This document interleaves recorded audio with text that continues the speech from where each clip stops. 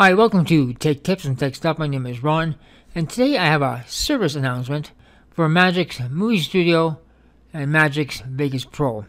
Now, what's happening here is some computers, you're getting two activations on the same computer, preventing you from installing it on a second computer.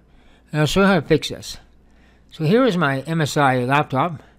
I went to install Vegas Pro on my desktop, and I couldn't because it says my desktop is a Dell. My uh, laptop is an MSI. It's saying there's two activations on MSI. So I was really worried about deactivating the wrong one and the program not working on both of them. So what I found, what you do, is look for your last activated date. So this one was activated on 10 14 2020. And this next one was activated 1 24 2021.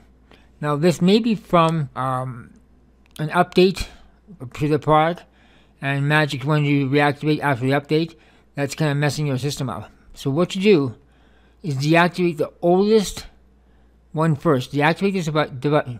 Sorry, deactivate this device on your oldest date, and then go ahead and install your product on the second computer, and you won't have any problems. So just a quick tip for you guys. If you found this video helpful in any way, Please give it a thumbs up, subscribe, and as always, thank you for watching.